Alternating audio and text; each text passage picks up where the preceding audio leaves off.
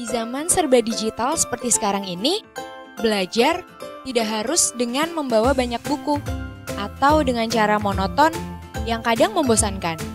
Seperti yang diterapkan di sekolah semesta dengan Paperless Education System atau disingkat PES. Untuk menunjang kegiatan belajar mengajar, setiap siswa akan mendapatkan Microsoft Surface Pro 4. Dengan teknologi ini, semua siswa dapat mengikuti kegiatan belajar mengajar dari layar tablet, membaca, mencatat, dan mencari tahu setiap materi pelajaran pun bisa dilakukan.